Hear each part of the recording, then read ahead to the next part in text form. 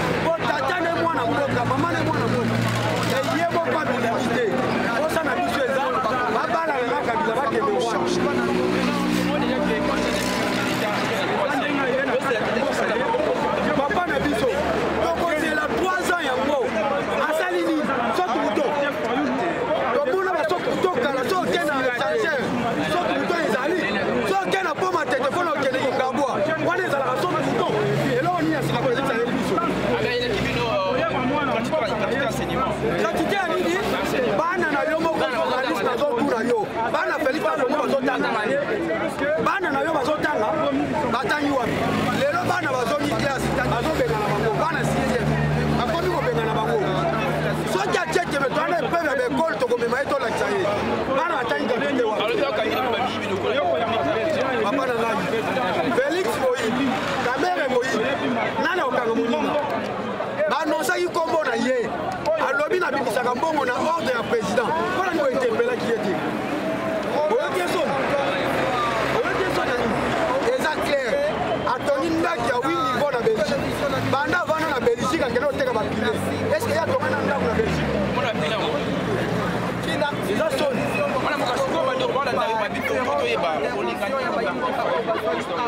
problème eza nini tolingi changement tolingi changement kobanda na mentalité ntina se papa eloko moko na webiso lelo peuple congolais azoyoka kabila adétruire enseignement ya congo epuis felix aye kokunda yango mpo lelo bazoyebisa mwana na yo atangi premier trimestre otuna ezala felix ezala ministre ya enseignement mwana na atangi premier trimestre lelo felix azoloba bana bapase baklasse bakopase baklasse na bakweni na matière ni mwana premier primaire awuti ndako premier trimestre ayebi a te ayebi b te ayebi 10 te a passé deuxième primaire pas de commande eza soni makambo esalema na congo eza soni ngai etangi ngai naza enseignant mwana na ngai akopasse classe bongo te po mwana akoyebisue na premier trimestre okoyebisa atikala mais na deuxième trimestre mwana akoforce troisième trimestre azwi po mwana akataki na premier trimestre akomata Bien botika, botuli yanga ministre ya Selema. Ba dollar pe. Bongo na mboka ba biso. Papa na ngai, eloko oyo eza ya yo, ata moto ayibi akoti na se ya mai, ekotikala ya yo. Omoni mbondo oyo Felix amela na triomphal, soki aza mayele, aluka bapayula sanza mbondo wana. Mbondo amelaki, yango ezolanda. Papa, yo ozoki ebala mwasi, balambeli yo mbisi ya kokola. Est-ce que wana eza libala? Eza libala. Yo quelle la passation ya pouvoir le même jour obandi ko kanga mana na piscine na na na na piste. Oza normal? Na normal ezo na kelo bwana te. Ozo zo nche to kela ka yeba wa pona nini? Président liboso to moni tata na ena maman na ese Félix. Eloko na ko tsa mwana. Aza mwana mboka. tata na ye toke na dixième azosola meme na biso bana mike me soki azalaka na mposa mboka akosala oyo azosala litia papa eza ye te aluka parti na ye asala atikela biso kwanga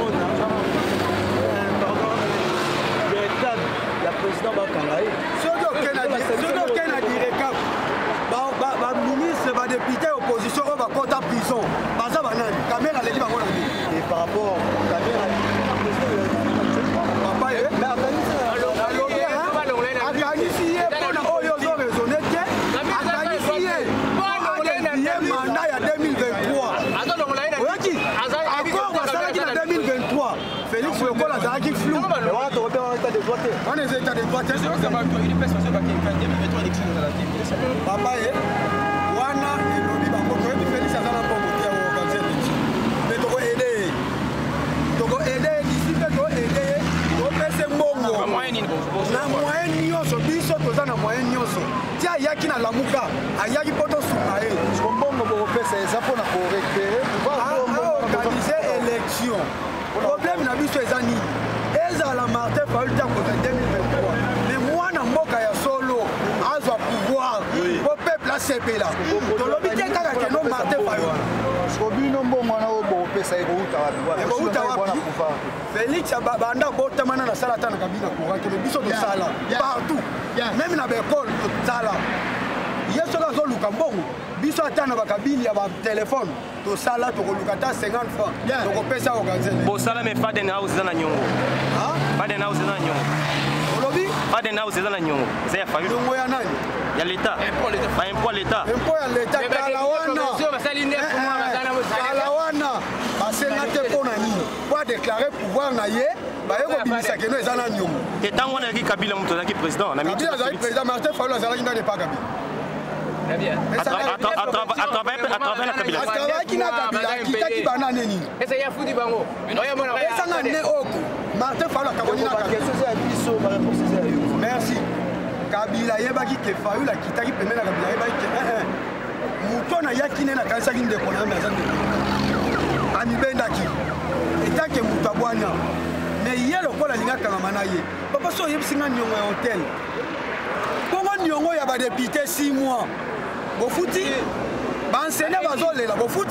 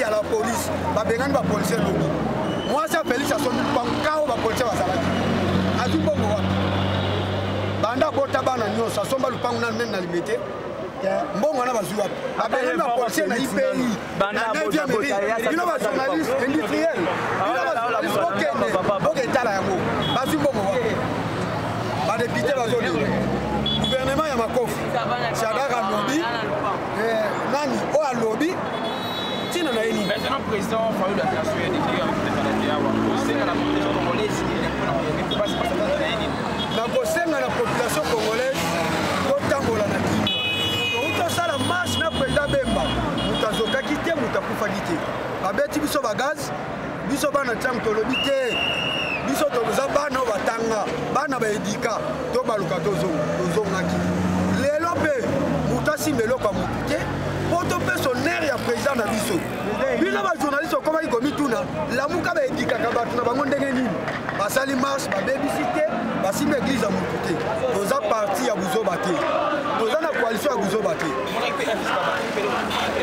papa fcc bamarche te fcc basali bino eloko moko babanda kokeseka eza soni bamarche banda wapti wapi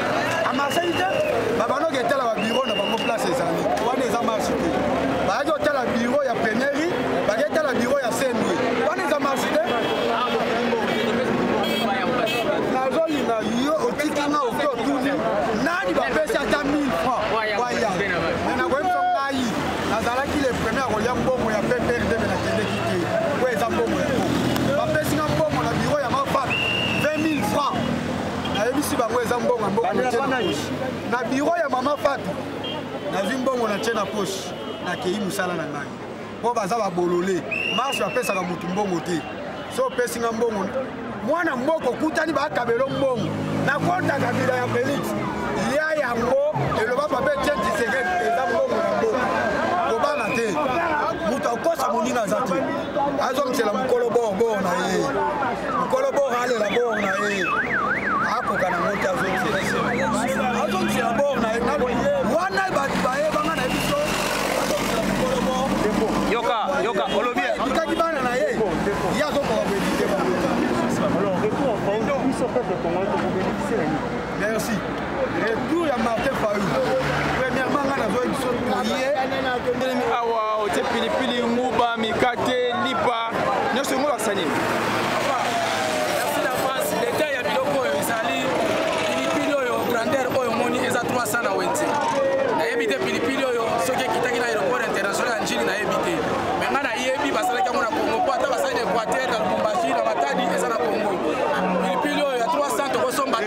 kola jaune po tolela ndako bato bata un mois pilipili na provision ezalaka na kati mais provisoire pilipili ya boye na 300 kosomba ndenge nini na grandeur ya nguba oyo 200 okolia nguba ndenge nini lipa yango wana soki mpe kanga journée soki fongola journée toyebi te yango bakolia yango 300 mikate oyo 150 farine eza ya biso moko masango eza ya biso moko sikale ya biso moko levire ya biso moko batie awa